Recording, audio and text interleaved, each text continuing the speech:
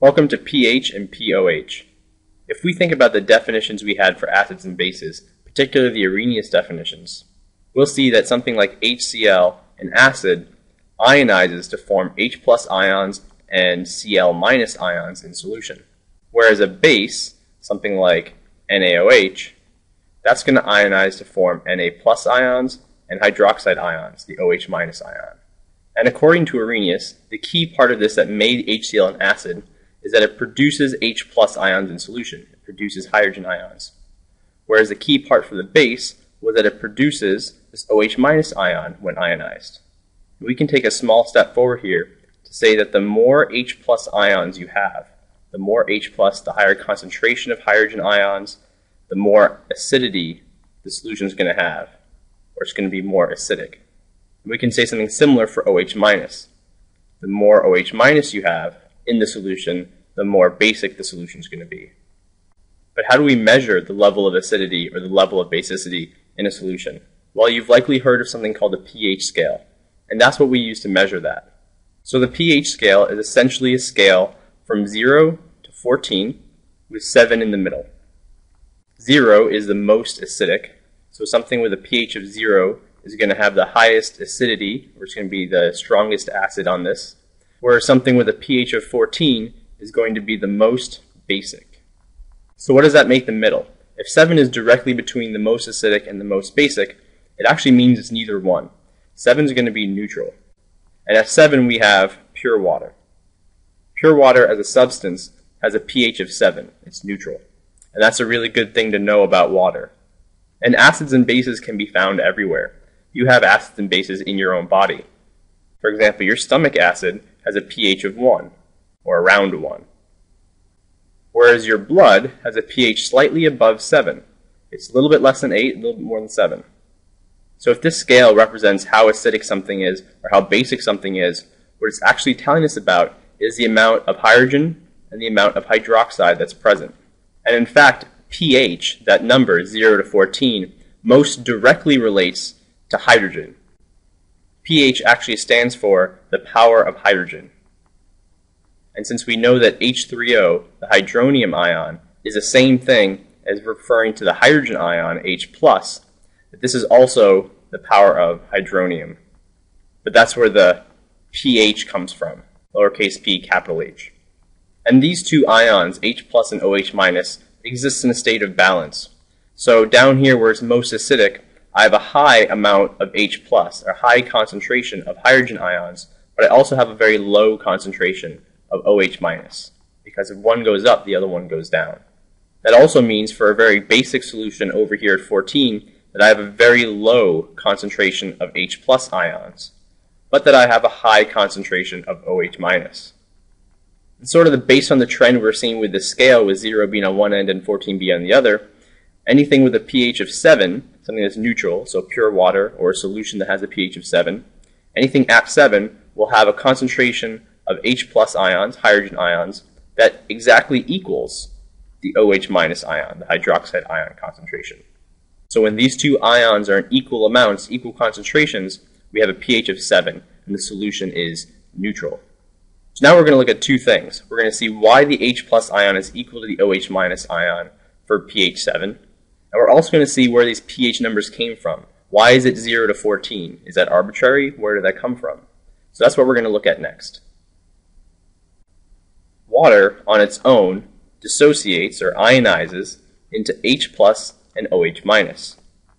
So at any given time in some water, there are H plus ions and OH minus ions floating around. But we can also see that for every water molecule, I have one hydrogen ion and one hydroxide ion. So it's going to be impossible if I have pure water for the hydrogen ions to ever outnumber the hydroxide ions because they get made in a one-to-one ratio. Every time a hydrogen ion is made, so is a hydroxide ion.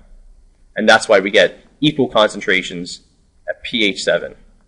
The hydrogen ion concentration equals the hydroxide concentration. So now let's focus on where the pH numbers come from out of all of this. We know that pH is related to H plus and OH minus. But now we want to know the relationship between these things. And so let's start with water again we know that there's an equal amount of H plus and OH minus. and it turns out it's a very specific concentration that exists. Under normal conditions, you're going to have a 1 times 10 to the negative 7th molar concentration of H plus ions. That's the concentration of H plus ions. And you're also going to have a 1 times 10 to the negative 7th molar concentration of OH minus. So you may start to see a relationship already between the pH of pure water and the hydrogen ion concentration and the OH minus concentration. But just to make it clear, we're going to look for a pattern here. We'll have a table.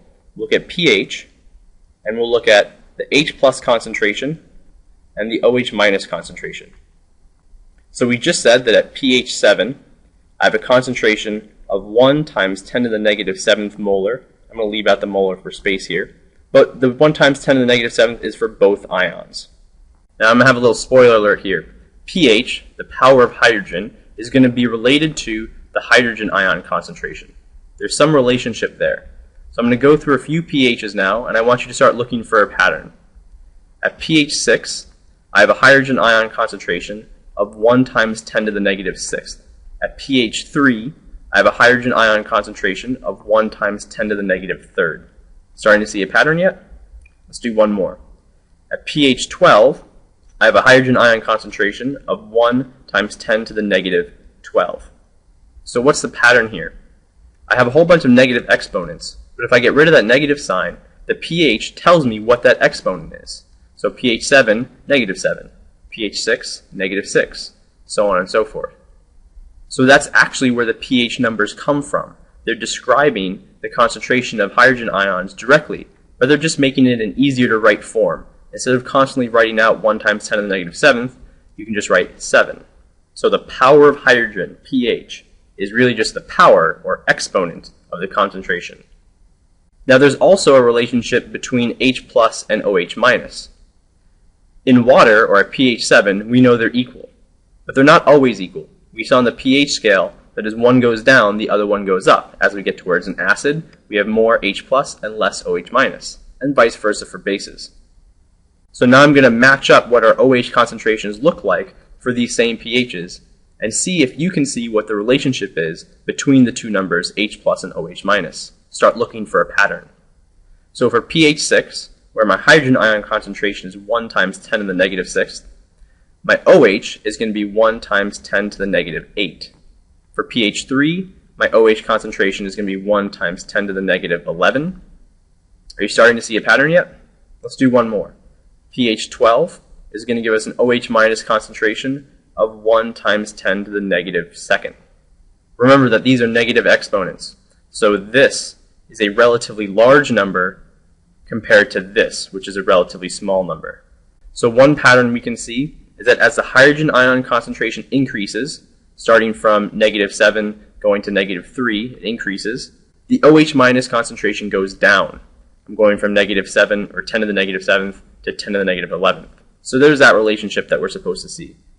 But there's another more interesting relationship that happens when you add the exponents. If I add negative 6 and negative 8, I get negative 14.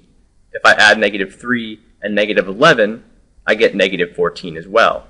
If I add negative 12 and negative 2, well, you're starting to get the idea. Again, negative 14. So the exponents of the concentrations always add to negative 14.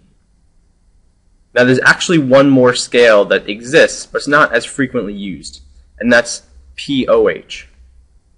If pH is the power of hydrogen, then pOH is going to be the power of hydroxide.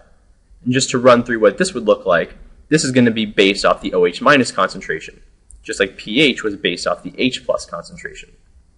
So pOH, power of hydroxide.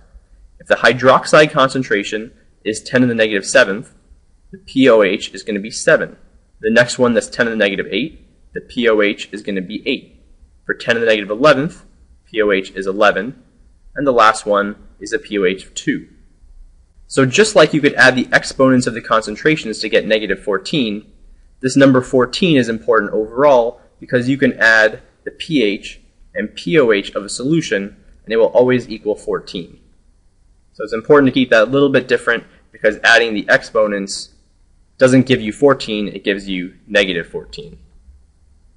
So it's the same number you're looking for when adding up the exponents, it's just positive instead of negative. That wraps up our lesson on pH and pOH. Write down any questions you have in your notes and bring them with you to class. Continue watching if you want to see how to solve the pH equation for problems where the pH is not going to be a whole number.